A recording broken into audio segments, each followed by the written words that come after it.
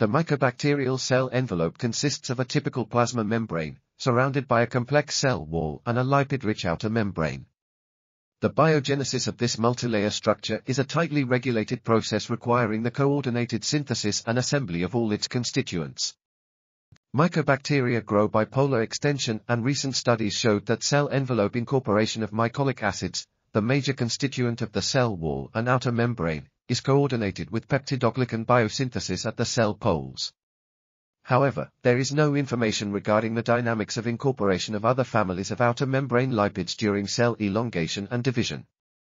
Here, we established that the translocation of non-essential trehalose polyphleates, TPP, occurs at different subcellular locations than that of the essential mycolic acids. Using fluorescence microscopy approaches, we investigated the subcellular localization of MMPL3 and MMPL10, respectively involved in the export of mycolic acids and TPP in growing cells and their colocalization with WAC31A. This article was authored by Laurie Thouvenel, Jerome Rech, Christophe Guilhot, and others. We are RTCL.TV, links in the description below.